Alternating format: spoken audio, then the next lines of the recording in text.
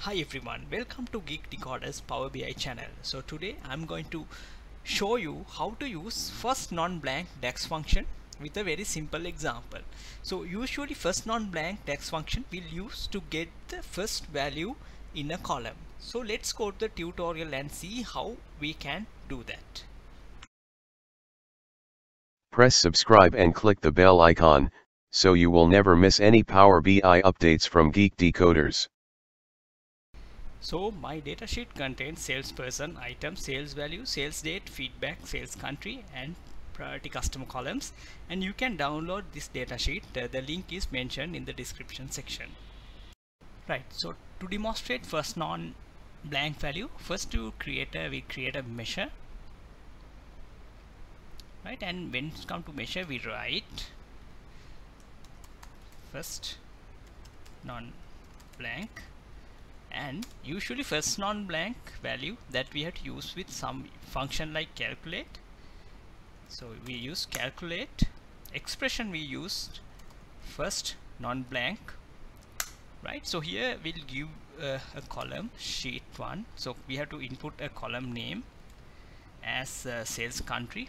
We use sales country. And here expression wise I'll just give one right? So that is the function is over. Then here I will not add any filter. I just give all sheet 1 right let's see the output.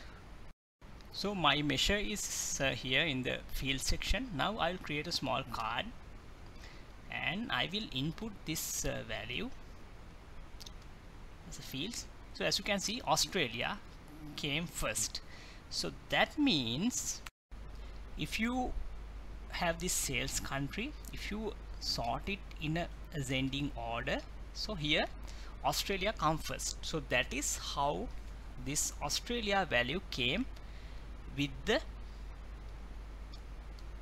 first non-blank function. So that is one example of using first non-blank function so here apart from sales country I will use something else. Maybe we use uh, sales value.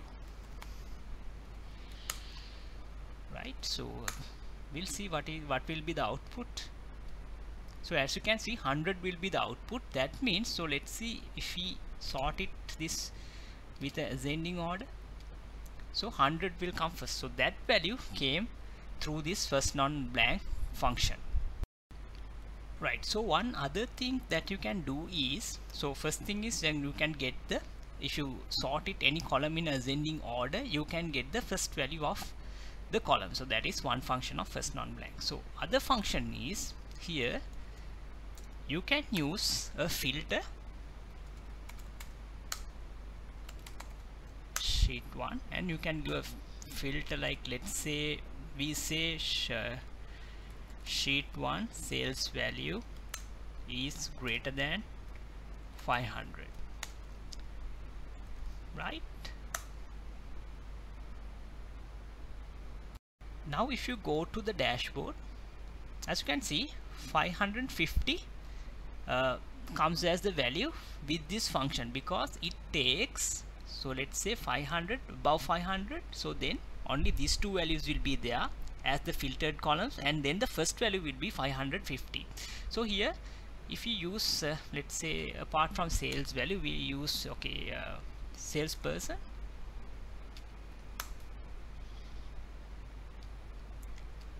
Right so John Smith here. Then out of these two columns the John Smith is the only column that is there. So that value comes here right? I hope you understand the first non-blank value function by using this example. So thanks for watching my video and please subscribe to my channel and uh, please keep in touch uh, for daily Power BI videos